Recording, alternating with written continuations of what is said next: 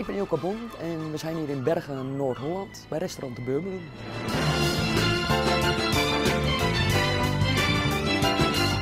Ben begonnen als 12-jarig meisje in de afwas van uh, Strandpavillon Noord in Bergen aan Zee. En toen probeerde tomaten te snijden, een tosti. Vervolgens doorgegroeid in de keuken naar Malet in Schorel, waar ik 10 jaar heb mogen werken. En uiteindelijk hier uh, voor mezelf mogen beginnen hier in Bergen bij de Beurberoem. De Beurberoem bestaat al 9 jaar, waarvan ik zelf hier 5 jaar werk. En de laatste 2 jaar, bijna 2 jaar, eigenaar ben van de Beurberoem. Het eerste gerecht wat ik gemaakt heb vandaag is een salade van gerookte forel met paling. Daarbij een salade van Granny Smit bieslook en een beetje zilverui. Het tweede gerecht wat ik gemaakt heb is gebakken kokkier met langoustine, een salade van aardbeer met witlof en crème van pancetta.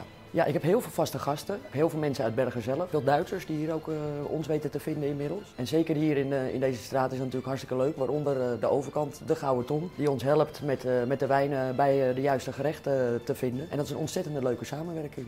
Nou, we hebben hier om de twee weken hebben we een nieuw vijf gangen menu. En ik laat me inspireren door de, door de seizoen natuurlijk, seizoensgebonden. Mede door de ATL die met, met leuke ideetjes komen om daar dan weer verder mee aan de gang te gaan. waaronder de langoustine van een van de gerechts van vandaag. En dat is natuurlijk heel leuk om op die manier inspiratie uh, op te doen. Ja, als je natuurlijk je koken echt je passie is, dan is dat natuurlijk fantastisch. En heb je in principe niet echt een opleiding nodig, wat ik ook niet heb gedaan. Maar door hard werken, goed kijken en uh, liefde voor het vak kom je er ook.